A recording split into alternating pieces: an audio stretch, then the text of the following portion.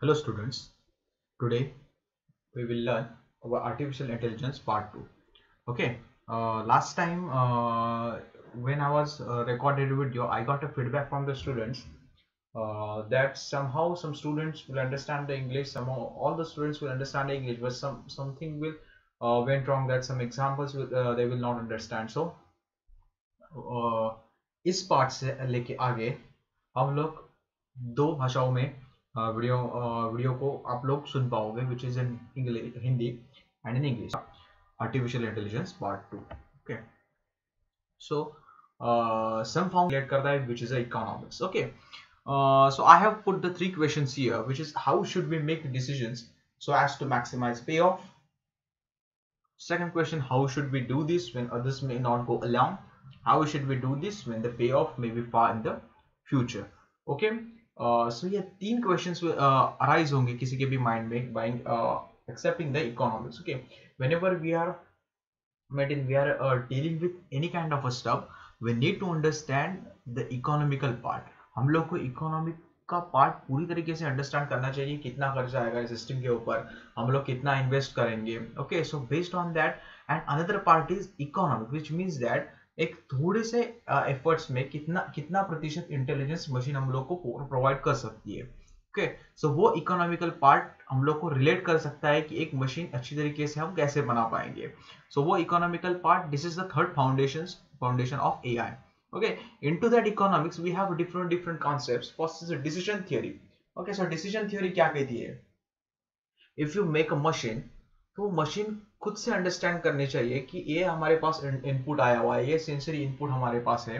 Based on that मैं कौन सा डिसीज़न लू इस पर्टिकुलर सिचुएशन पे? Okay so this decision theory will understand that वो माइंड में होना चाहिए मशीन के। जैसे हम लोग फॉर एग्ज़ाम्पल अगर आ, हमारे सामने कोई सिचुएशन आई तो हम लोग कैसे उसको टैकल करते हैं? वो हमारे माइंड में एक्चुअली वो न्यूरॉन की it's it's like a natural thing so वो लॉजिक बिल्ड होना चाहिए मशीन में अपने आप की इस सिचुएशन में क्या करना चाहिए। So this is a decision theory based on the economics okay then the third part is large economics particular for the game हम लोग गेम्स खेलते हैं okay we don't know any regarding to the development of the game some of the students from your class will know the how to develop the game but the most of the students don't know how to develop the game okay so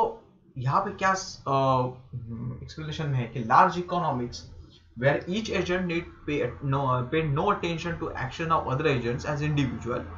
for small economics the situation is much more like a game the action of one pair can significantly affect the utility of another person okay so यहाँ पे क्या समझाया गया है? Large economy और small economy large economy में क्या रहता है? एक एजेंट रहेगा. एजेंट एजेंट मतलब आपके सिस्टम में काम करने वाला एक छोटा सा पार्ट तो वो क्या करेगा? वो पार्ट अपना काम करने के बाद उस, उसको बाकी के ऊपर कंट्रोल रखने की कोई ज़रूरत है नहीं। जैसे कि हमारा ब्रेन ब्रेन को पूरे बॉडी पे बॉडी के ऊपर फ़ंक्शन रखना ज़रूरी होता है। लेकिन अगर आपने अपने हाथ का काम कर दिया तो हाथ बोलेंगे कि पैर से पैर पैर को नहीं कंट्रोल कर पाएँगे। Okay so this is example so so, क्या होता है? रोबो रोबोट को अगर चलाते रहते हैं तो रोबोट का ब्रेन जो मतलब लॉजिकल पार्ट है वो हमेशा चलते रहना चाहिए। सो so, क्या होता है? सम एजेंट्स जो जो लार्ज इकोनॉमी को रिलेट करते हैं वो क्या करते हैं कि एक छोटा सा लार्ज इकोनॉमी को एक पार्ट किया तो वो दूसरे पार्ट के ऊपर डिपेंडेंट नहीं रहता mostly mostly dependent in the sense that उसके वो वहाँ उसके काम में दखल अंदाजी नहीं करता। लेकिन स्मॉल में क्या रहता है? अगर एक एक्शन दूसरे ने किया तो उसका रिफ्लेक्ट स्मॉल इकोनॉमी पे पड़ेगा which is a particular important in artificial intelligence both है मतलब हमारी जो मशीन है, वो दोनों का मिक्सचर रहेगी large economy and small economy related to the game theory I am going to say that related to the game theory then operation research, which means that how to make a rational decision. Again again, this concept is related to the decision making operation region. Then satisficing satisficing uh, means what making decisions that are good enough which means that rather than laboriously calculating an optimal decision क्या होता है आपका robot है sometimes robot के सामने ऐसी एक situation आती है कि ऑब्स्टेकल सामने आ जाता है तो वहाँ पे वो डिसीज़न लेगा वहाँ पे वो उसका मेन फोकस रहेगा कि उस ऑब्स्टेकल को वो इग्नोर uh, करे ओके? और उससे बच के साइड से निकल जाए ओके? सो so, क्या होता है सेटिस्फिसिंग में वो वहाँ से निकल तो जाता है लेकिन समथिंग व्हाट हैपेंस वो दूर का रास्ता लेके जाता है which is a good enough मतलब उस सिचुएशन के लिए वो ठीक है। वो कैलकुलेटिंग करता बैठा कि यहाँ से इतना जाएगा इतना डिस्टेंस जाएगा यहाँ से हम हम लोग कम समय में पहुँचेंगे। तो वो डिसीज़न वो ले नहीं पाता है। सो so, वो आर्टिफिशियल इंटेलिजेंस में एक सेटिस्फाइंग सेटिस्फाइंग रिलेशन और कंसेप्ट है उसके लिए। Then fourth one is the neuroscience which is important. We all know that our brain is working on continuously working on neuroscience this is a biological term but it is must needed in the artificial intelligence neuroscience is the study of a nervous system as we all know कि हमारी जो पूरी body है वो nervous system के ऊपर काम करती है हमारे डिसीज़न नर्वस सिस्टम के ऊपर काम करते हैं सो so, अगर हम लोग को हमारी तरह एक बॉडी हमारी तरह एक मशीन बनानी होगी इंटेलिजेंट मशीन बनानी होगी तो पूरा न्यूरो साइंस हम लोग को अच्छी तरीके से अंडरस्टैंड करना पड़ेगा so this is the part is neuroscience particularly the brain which is important for the machine for the intelligence we need a, a brain which is a particularly intelligent to understand this but the neuroscience again i am going to tell you is that neuroscience बहुत ही ज़्यादा important है हमारे artificial intelligence के foundations के लिए और उसके study के लिए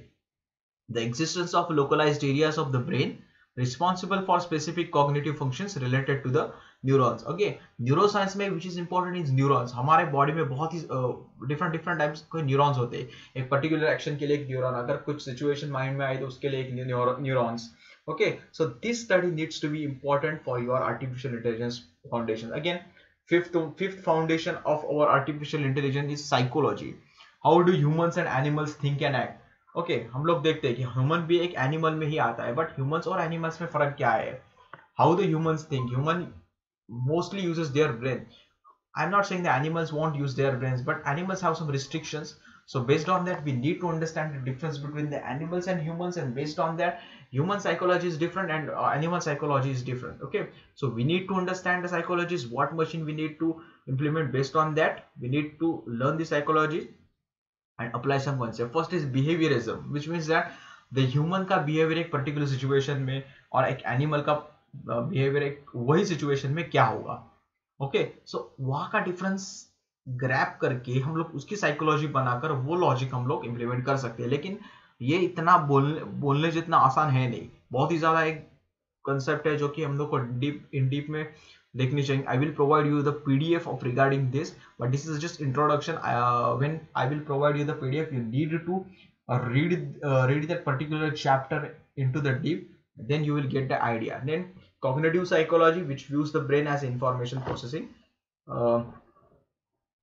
uh, thing then we have a control uh, six is control theory and cybernetics okay again controlling the machine homeostatic which means devices containing appropriate feedback loops to achieve stable adaptive behavior which means that एक particular environment के लिए हम लोगों ने machine बनाई और वो machine उस फीडबैक लूप से विच मीन्स दैट जो कुछ और एक्सपीरियंस गेन करेगी मशीन उस बेस्ड पे वो स्टेबल एक बिहेवियर अपना खुद का जनरेट करेगी एक होम्योस्टैटिक विच मीन एक पर्टिकुलर सिचुएशन में। Then modern control theory specially the branch known at stochastic optimal control has its goal to design the system that maximise an objective function over time designing system that behave optimally again I am going to say the control theory is entirely related to the optimisation okay then we have a different different state of art I haven't explained the history here because you guys all know re uh, related to the uh, history of AI you will get that but uh, for that I will provide you the entire chapter uh, chapter PDF as I've said before वहाँ पे आपको पूरी तरीके से idea हो जाए कि actually history में क्या है वो आप लोग पढ़ के भी अंडरस्टैंड कर सकते हैं कि एक्चुअली इसमें है क्या that's why I haven't explained here okay that we have this eight states pretty much simple it's not a stage but we can say that right now the artificial intelligence is art के ऊपर बहुत ही ज्यादा काम हो रहा है okay robotics vehicles speech recognition autonomous planning and scheduling game playing spam biting machine translation it's um, uh, robotics i have uh, the machine translation is put uh, two times here uh, uh, sorry for that uh, okay The first one is a robotic vehicle you guys all know regarding the, uh, driverless car made up by different different companies right now i have given the explanation of this uh, robotic car named stanley which is particularly old you guys um, understand that uh, you guys will know the name of a tesla okay which is a robotic vehicle बहुत ही ज़्यादा तगड़ी एकदम बहुत ही ज़्यादा मतलब क्या बोल सकते हो उसको बहुत ही एडवांस है वो आप लोग वहाँ पे भी सर्च कर सकते हैं। सो so, ये छोटे छोटे topics in the sense that robotic vehicles ये एक पार्ट है आर्टिफिशियल इंटेलिजेंस का okay so I have here given you जब सम एग्जांपल बट मैं आपको जब पीडीएफ प्रोवाइड करूँगा तो आपको बहुत ही ज़्यादा उसका इन डिटेल मालूम होगा। तो यहाँ पे मैंने एक स्टैनली का एग्जांपल दिया है speed through the rough terrain of the Mojo Mojo it's like a desert name finishing the 132 mile course first to win the 2005 DARPA Grand Challenge which means that इसने स्टैनली ने क्या किया था? इस Stanley नाम की ड्राइवरलेस कार ने एक ग्रैंड चैलेंज रहता है लाइक एफ़ वन की तरह स्पीड कार स्पीड जो कंपटीशन रहती है उसमें वो वो जीता but this is the kind of robotic vehicles you guys uh, search on regarding to the tesla also then second state of uh, which means example i can say the speech recognition which means that a traveler calling united airlines to book a flight can have the entire conversation guided by an automated speech recognition and dialogue management system क्या होता है sometimes what happens तुम लोग अगर किसी दूसरी country में चले गए अदर देन इंग्लिश तो वहाँ पे क्या होता है जब एयरलाइन पे कॉल होता है एक पर्टिकुलर सूचना तो वो डिफरेंट डिफरेंट लैंग्वेजेस में डिस्प्ले की जाती है एयरलाइंस पे कि लोगों को अंडरस्टैंड हो जाए। सो so, अगर उन्होंने एक स्पेनिश में वो अंडरस्टैंड वो बोला तो आप तो वहाँ पे एक स्क्रीन के ऊपर आपको वो इंग्लिश में दिखाई देगा उसका मीनिंग क्या है। Okay so this is the space recognition third one is autonomous planning and scheduling. As we all know the irctc this is this is some kind of autonomous you just book the ticket and uh, schedule for the particular thing. So this is the autonomous but this is not much more autonomous. Okay remote agent generated plans for high level goals specific from the ground. As you guys all know the regarding to the series there uh, uh, apple series there then amazon echo is there. This is a particular name of the autonomous planning. You just uh, say to them uh, through through through the voice commands that just alarm set karo दूसरे दिन का सो वो set करेगा और उसके ऊपर वो आपको अलार्म बजा के भी अलार्म बजेगा भी उस दूसरे दिन ओके okay? सो वो एक ऑटोनॉमस प्लानिंग एंड शेड्यूलिंग में आएगा fourth one is game planning आप सब लोग जानते हो कि गेम प्लानिंग में एक्चुअली क्या होता है। तो यहाँ पे एक आईबीएम का डीप ब्लू नाम के जो फ़र्स्ट कंप्यूटर प्रोग्राम था, उसने क्या किया था? वर्ल्ड चैंपियन जो चेस का एक वर्ल्ड चैंपियन है गैरी कैस्पराव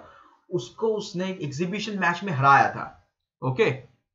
3.5 से 2.5 में। मतलब एक वर्ल्ड चैंपियन जो चेस में है उसको एक आर्टिफिशियल इंटेलिजेंस मशीन ने हारा है। मतलब बहुत बड़ी बात है। अगर वो exhibition match doesn't matter exhibition match हो या फिर मेन मैच हो बट उसने एक चेस प्लेयर को हराया which means that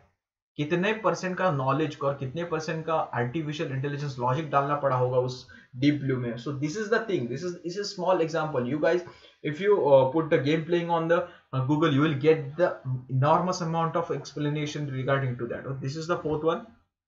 Fifth one spam इसका मैं एग्जांपल आपको दूँगा। आपके ईमेल में जाइए और वहाँ पे एक स्पैम रहता है। वहाँ पे एक बहुत ज़्यादा मैसेज आते रहते हैं कि आपके ये है ऑफर्स वो है ऑफर्स तो वो दिन ब दिन बहुत ही ज़्यादा आते रहते हैं। तो वो कंट्रोल कैसे करना चाहिए? वहाँ से फाइट कैसे करना चाहिए? तो उसके लिए गूगल अपने एल्गोरिथम भी अपडेट करता रहता है। So this is the spam fighting and six one logistic planning logistic in the sense that sometimes what happens large containers वगैरह होते हैं जो और ट्रैवल एक यहाँ से एक कार को लेकर दूसरी जगह जाते तो वहाँ पे भी एक लॉजिस्टिक प्लानिंग भी ऑटोमेटिकली होना चाहिए। वहाँ पे एक ज़्यादा इंसान जाएगा, फिर ये करेगा, ऐसा नहीं है। मशीन रहेगा मशीन को एक पर्टिकुलर टास्क दिया होगा यहाँ पे कमांड देने के बाद वो अपना काम खुद से करेगा। So this is the logistical planning okay seven robotics पहले लेक्चर में भी मैंने वही एक्सप्लेन किया था, यहाँ पे भी बहुत ज़्यादा so I think I don't think आपको रोबोटिक्स को ज़्यादा एक्सप्लेन करने की ज़रूरत है okay okay? On eighth one is machine translation which means that a computer program automatically translate from arabic to english allowing an english speaker to see the headline as i've seen before अगर आप किसी non English country में गए तो वहाँ पे अगर उन्होंने एक पर्टिकुलर कमांड दे दी तो वो कमांड देने के बाद वो आपको डिस्प्ले करेगा इंग्लिश में उसका मीनिंग क्या है so this is the machine translation और ये eight this is the other than this 8 you will not find any other state of artificial intelligence okay? So ये understand करना बहुत ही ज़्यादा ज़रूरी है और uh, इसके regarding so हमारा पहले यूनिट का एक पहला चैप्टर यहाँ पे खत्म हुआ और इसके I will provide you the PDF on your WhatsApp group okay so अगर कुछ क्वेश्चन रहेंगे तो कमेंट्स बॉक्स में इसको पुट कीजिए अदरवाइज़ मेरे को मैसेज कर, uh, करेंगे तो भी चलेगा ठीक है? सो ये पूरी तरीके से एक फ़र्स्ट चैप्टर, पहले यूनिट का फ़र्स्ट चैप्टर चैप्टर पूरा हुआ। हिस्ट्री हिस्ट्री रिलेटेड टॉपिक वो वो उस पीडीएफ में रहेगा। तो आप लोग वो पढ़ के अंडरस्टैंड कर लेना, okay? So, thank you, students.